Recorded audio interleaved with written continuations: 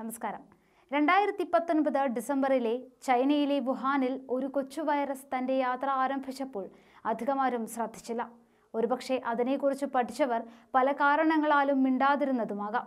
എന്നാൽ ആ കുറ്റകരമായ മൗനം ഇന്ന് മനുഷ്യരാശിയുടെ നാശത്തിന്റെ വക്കത്തെത്തി നിൽക്കുമ്പോൾ ലോകത്തിന്റെ എല്ലാ കോണിൽ നിന്നും എല്ലാ ഭാഷകളിലും ഉയരുന്ന ഒരു ചോദ്യം ഈ മഹാമാരിക്ക് ഒരു അവസാനം എന്നാണ് എന്നതാണ്. ഉടനെയൊന്നും ഇല്ല എന്ന് വെട്ടിത്തുറന്ന് ഒരാൾ പറയുമ്പോൾ അത് ഒരു വിവാദമാകാതെ തരമില്ലല്ലോ. പ്രത്യേകിച്ചും പറയുന്ന ആൾ തൊലി വെളുത്തവൻ അല്ലെങ്കിൽ അതാണ് ഇപ്പോൾ സംഭവിക്കുന്നത്.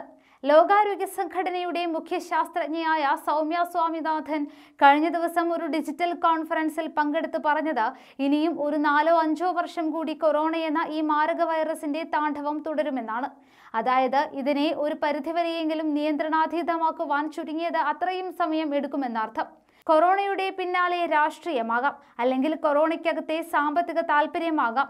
ഇന്ന് വരെ ഇത്തരത്തിൽ യാഥാർത്ഥ്യം വെട്ടിത്തുറന്ന് പറയുവാൻ അധികാര സ്ഥാനങ്ങളിലിരിക്കുന്ന പലരെയും പിറകോട്ടടിപ്പിച്ചത്.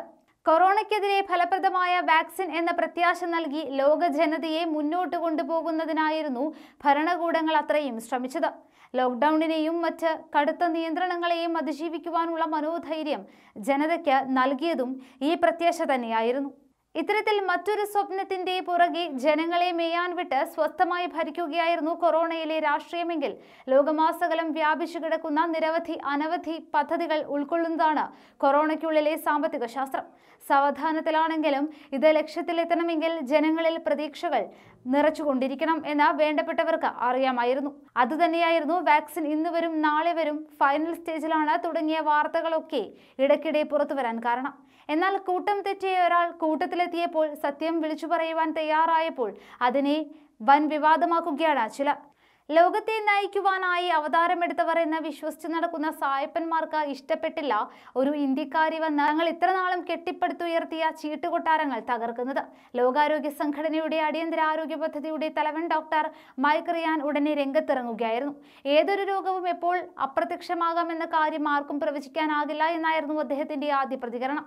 ഒരു പ്രത്യേക വൈറസ് മനുഷ്യ ശരീരത്തിൽ ആദ്യമായി പ്രവേശിക്കുന്നതാണ് നമ്മൾ കണ്ടുകൊണ്ടിരിക്കുന്നത്. അതുകൊണ്ട് തന്നെ അതിനെക്കുറിച്ച് ഒന്നും തന്നെ പ്രവചിക്കും പ്രവചിക്കുവാനുമാകില്ല അദ്ദേഹം കൂട്ടിച്ചേർത്തത് ഇപ്രകാരമായിരുന്നു.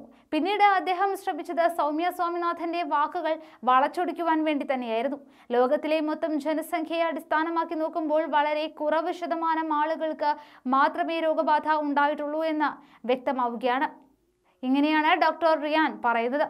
ഒരു വാക്സിൻ കണ്ടുപിടിച്ചില്ലെങ്കിൽ പിന്നെയുള്ള ആശ്രയമായ ഫേർഡ് ഇമ്മ്യൂണിറ്റി കൈവരിക്കുവാൻ ഇനിയും വലിയൊരു സംഖ്യ ആളുകളെ ഈ രോഗം പിടികൂടേണ്ടതുണ്ട്.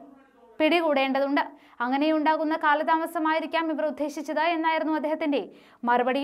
എന്നിരുന്നാലും സൗമ്യയുടെ വാക്കുകളിലെ സത്യത്തിന്റെ ശക്തി ലോകത്തെ പലരുടെയും ഉറക്കം കെടുത്തുമെന്നതിന്റെ തെളിവായിരുന്നു ഡോക്ടർ റിയാന്റെ പിന്നീടുള്ള വിശദീകരണങ്ങൾ.